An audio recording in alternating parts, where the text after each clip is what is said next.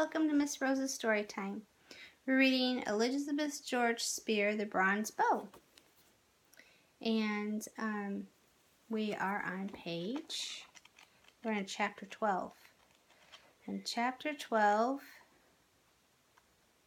is on page 133.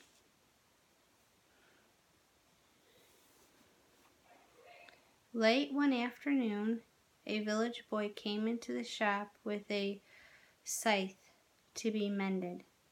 He had a bony, weather toughened face under a shock of straight black hair, a defiant, touchy alertness, and a blackened eye that roused Daniel's curiosity. As, Dan- as Daniel suggested, jerking an elbow towards the bench near the door, the boy, unable to sit for more than a moment, resumed his nervous pacing.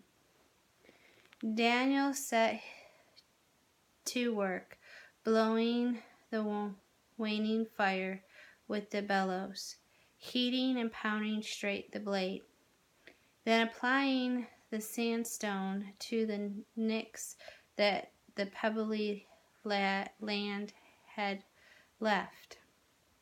From time to time he glanced at the boy.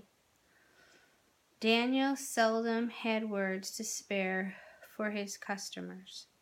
He did the work they required of him and took their money, not caring that he had a reputation for being surly. Today, for the first time, he was prompted to speak. For one thing, the boy was about his own age, and for another, he looked like a fighter. When he could make himself heard, Daniel attempted a joke. Must have been some must have been quite a scrap you were in. There was no answering grin, but Daniel tried again. What did give you what did give I'm sorry, what did you give him in return? There was a pause. Then what could I? The boy burst out. There were five of them. Daniel's eyebrows lifted. He bent over his work. My own friends? Bitterness rasped through the boy's voice. Waited and jumped on the coming home from the field last night. Why? Because my father has gone to work for Somner, the tax collector. No wonder the boy looked defiant. It was a contemptible business for a Jew to hire himself out to collect the taxes the Romans did not stoop to collect for themselves. There are better ways of earning a living, Daniel observed. He's he's worn out trying. Last year it was the locusts, and this year some cockle seed got into the grain and the crop is worth har- isn't worth harvesting. He could never meet the taxes. Daniel said nothing. He could have sold my sister. There would have been no shame in that, but he's too soft hearted. That's a hard choice, Daniel agreed. They forced it on us, the crushed, cursed Romans. The land would feed us well enough if we were rid of them. Daniel leaned closer to the stone and carefully ground out a slight roughness. But it's not true what they said, the boy went on. My father would never put one penny of the taxes in his own pocket. Daniel did not answer. A tax collector might start out honest enough, he reflected, but a man weak enough to take the job at all would find it hard to resist the easy pickings. He la- he felt embarrassed. It was a bad thing for a boy to have to be ashamed of his own father. I guess this will do, he said, rubbing his thumb along the blade. He knew the boy did not want want his sympathy. The boy paid him and moved towards the door, hesitating. Daniel guessed the shrinking with which he looked out into the twilight street. Any chance they'll be waiting again? he asked. The boy shrugged, but his eyes looked sick. Hold on a minute, Daniel suggested. When I close the shop, I've got to deliver an axe head. We can go along together. I can take care of myself, the boy flashed. I don't doubt that. What's your name, by the way? Nathan. Then come along with me, Nathan. There's something I'd like to tell you about. There was not much use talking over to one talking there was not much use talking, however, to one whose ears were straining for every sound on the dark roadway. Daniel could almost feel the tense muscles of the boy beside him, but he observed with approval that the nervous stride did not falter. He gave up an empty attempt to talk and walked on in silence, savoring the keen pleasure the thought of the coming attack. He had not realized how much he had missed the rising prickle of anticipation. The rush came quickly out of the darkness, six or seven, Daniel noted, even while his first sent the first comer sprawling. With a shout of sheer enjoyment, he caught two others, one with each hand. In the dark there was a shriek. The blacksmith! A frantic wrench and the sound of tearing cloth, and one of his captives darted off in his tunic, leaving his cloak in Daniel's hand. The other, teeth rattling from a shake and a kick and that would be remembered, stumbled after him. Then Daniel stood watching while his new friend dealt efficiently with two young attackers. Not bad, he com- commented when the whole pack had slunk into the shadows. You need to tighten your guard. Now that's over, and you can pay attention to what I have to say. How would you like to use those fists of yours for a good purpose? So Daniel won his first recruit in the village. Nathan, son of the new tax collector. As though Daniel's very eagerness had somehow acted as a single be- signal between them, a few days later Joel walked into the smithy, bringing with him a recruit of his own. How did you know where to find me? Daniel demanded, eyeing with curiosity the slender, scholarly boy who accompanied his friend. I ran into your friend Simon, Joel told him. After just the slightest hesitation, he told me you were looking out for his shop. He suggested I come to see you. A good thing, Daniel said. I was wondering how I could get to Capernaum. There's businesses enough for two men here. He tried to sound matter of fact, but he could not keep the pride out of his voice. Joel showed a flattering interest in the shop.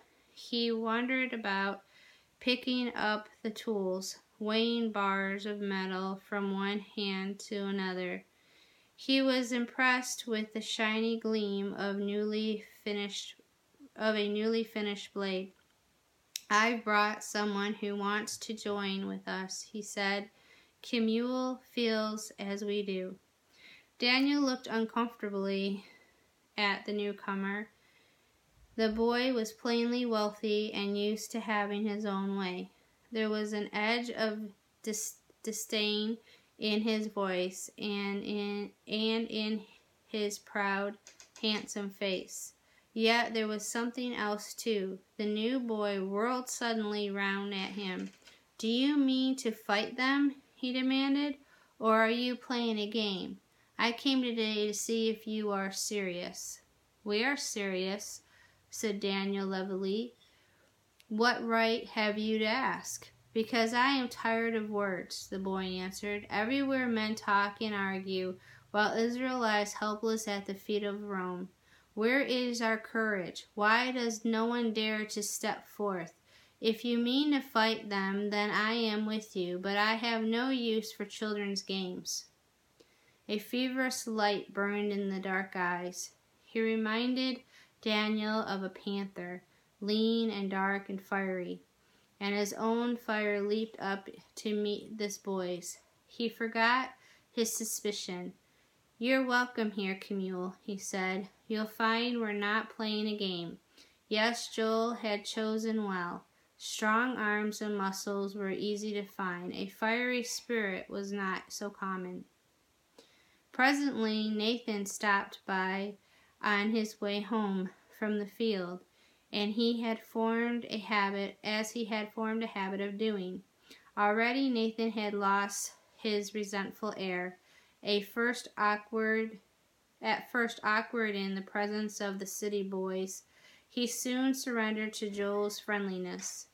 Daniel disconnected the bellows, banked the fire out for the night, bolted the door, and the band of four held its first meeting, certain of Simon's approval. Daniel offered the smithy as a gathering place. They agreed to meet on the third day of each week.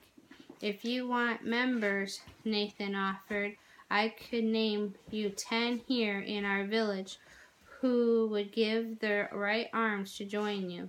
Daniel hesitated. I've thought about that, he told them. I know there are plenty. If word went out tomorrow, half the village would probably be with us before night. Some because they love Galilee or hate the Romans, and some just because they love a good fight. But would they lose heart? The trouble is, we can't fight tomorrow. We've got to work slowly, and it may take a long time. How long? Kemuel demanded. We must be strong enough so that we cannot fail. Daniel tried to remember how Rosh had talked to them in the cave, whetting their impatience but always holding it back, leashed for the day to come. He saw how much he had still to learn from Rosh.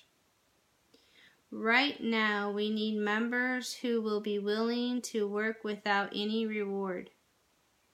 He went on, not looking at Kemuel, but speaking chiefly to him. We've got to be absolutely sure we can trust them no matter what happens. Then we shouldn't take too many right away, Joel said thoughtfully. We should not make it too easy, Kemuel spoke. We only value the things we pay for. Who has money to pay? Nathan bristled. That would keep out all the village all the villagers. I was not speaking of money, Kemuel answered with a touch of scorn. I meant we must be committed altogether without any reservation. Only that way can we be sure. We will each take the oath, Joel reminded him. His friend was not satisfied. An oath can mean one thing to one and something altogether different to another, he argued. Daniel suspected that he argued habit- habitually. That means like out of habit. And enjoyed it. Like the scribes who debated the five points of the law. I know! Nathan sprang to his feet. He seized a rod of iron from the wall near him. We can brand ourselves. That way we would know. Are you forgetting the law? The scholar cut in icily cut in icily. You shall not print any marks upon you. It was exactly as though he had pulled his cloak tighter to avoid condemnation. Peasant, his tone said unmistakably. Daniel heart sank. Already his little army was behaving like the men in the cave. We don't need a brand, Joel spoke quickly in the reasonable, friendly way that made everything he said so convincing. If we choose carefully, we can trust each other. We will carry the sign of the bow in our minds. You know from the Song of David, He trains my hands for war so that my arms can bend a bow of bronze. That is our password.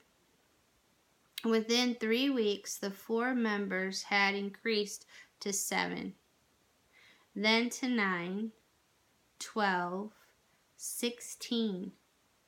Young men would meet each other on the village streets, in the school at Capernaum.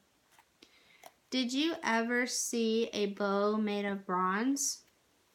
They might ask in passing, or they would drop in at the smithy and pick up a lump of metal. It would make a good bow, they would say. The password gave them pride and pleasure. They went around they went around together by the sign. No. They were, my book is like a misprint right there in this um, sentence on page 139. They were pound together. Uh, or no, it should probably be bound. The first letter's missing, and it says O U N D, so I'm thinking it says bound. They were bound together. There we go. By the sign. On the first day of Ab, 21 boys crowded the smithy. Daniel looked around at them with a surge of elation. When can we tell Rosh? Joel demanded, eager for another glimpse of his hero. Not yet, Daniel answered.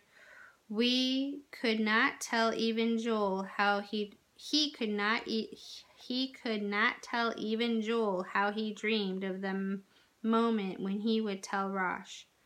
Now while Joel read aloud to the listening boys the thrilling accounts he had shared with Daniel in the passageway of David and of Judas Iscariot, Daniel throughout Daniel thought how he would lead Rosh down the mountain and confront him with an army ready for his command. Then Rosh would no longer be an outcast. Then everyone would recognize the leader they had longed for, and the day would be very near. On the morning after the third meeting, the fair haired Roman soldier appeared again at the smithy. This time he had a broken stirrup to be mended. He paid no attention to the sullen scowl that showed that his business was unwelcome. He stood, his feet planted well apart in that Roman pose they seemed to learn young, looking deliberately about the shop at the shelves of metal bars, the tools hanging along the wall, the door that Daniel had instantly shut between them and the inner room. Daniel kept his eyes on his work, fighting down a compulsion compulsion to find out what the man might be looking at. Could there possibly be a sign of last night's meeting? He did not draw an easy breath till the Roman, taking his time about it, finally clanked through the door mounted his horse, and rode off. Then, searching the room frantically, he could not he he could find nothing that would possibly have drawn the man's suspicion. Had it been his imagination that the man was looking for something? The Roman returned, sometimes on the very day of a meeting, often on odd days between. He came now with work for his fellow legionnaires, or with ridiculous excuses to have some perfectly sound bit of harness checked for a flaw. Once or twice Daniel, hearing the hoof beats in the street, looked up to see the man ride slowly by his door, and then almost immediately, so soon the man could scarcely have turned his horse, ride slowly back again. He discovered the prints of a horse's hoofs in the soft earth of the alleyway that ran along the garden wall, where there was no possible reason to ride a horse. No question now, the, ho- the house was being watched. The meeting place would have to be changed. A new recruit, son of a farmer in the village, offered a solution. He led Daniel to an abandoned watchtower in his father's cucumber field, a small round stone house in which the whole family had once lived during the time of harvest to watch less, less thieves despoil the ripening crop. Below the tower, a shaft that had been cut, designed, Daniel suspected, for hiding part of the crop from the count of the tax collector, and made a fine place to store the weapons they planned soon to have. The tower could be approached from many sides across the field of vines. It was an ideal meeting place. Abruptly, almost as soon as they shifted the meeting place, the Romans stopped coming. Wearily, they stationed a guard near the new headquarters, taking turns at the duty. Not a sign of the soldier was ever reported. Luck was with them, Daniel decided. Still, there was something about it that made him uneasy. Well, that's very interesting. I hope you enjoyed chapter 12. Please remember to read 30 minutes every day. When my children were little, we used to read after lunch. So, I hope you have a great day. No, we also read a little bit during bedtime, but our big story time was after lunch. All right, anyway, I hope you have a great Valentine's Day this week, and I hope you're enjoying the um, the book. And um, please like, share, and subscribe. And if there's any books you'd like me to read, I you can mention them, and I will consider them. Take care. God bless.